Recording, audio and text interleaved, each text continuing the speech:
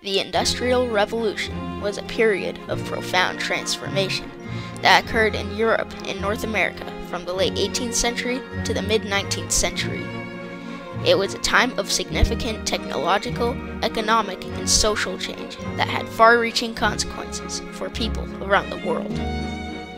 Before the Industrial Revolution, most manufacturing was done by hand in small workshops and households.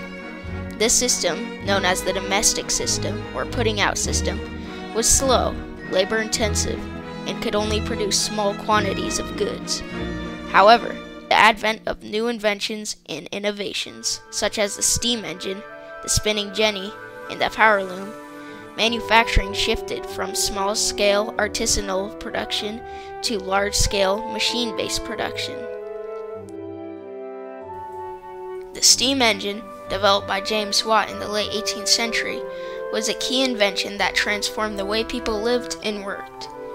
It powered machines in factories, allowed for the mechanization of transportation, and enabled the development of new industries such as iron and steel production. With the steam engine, factories would be located anywhere rather than being limited to water sources for power. The cotton gin, developed by Eli Whitney in 1794, was another important invention that revolutionized the textile industry.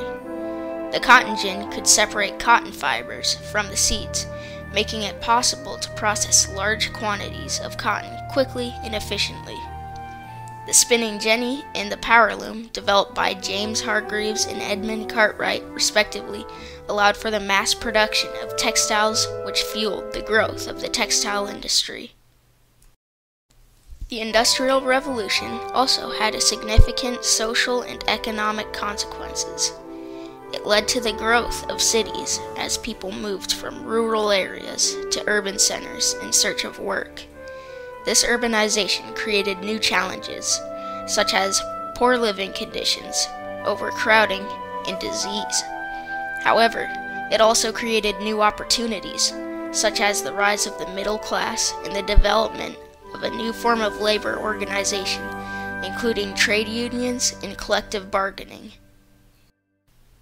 In conclusion, the Industrial Revolution was a period of transformational change that had a profound impact on the world.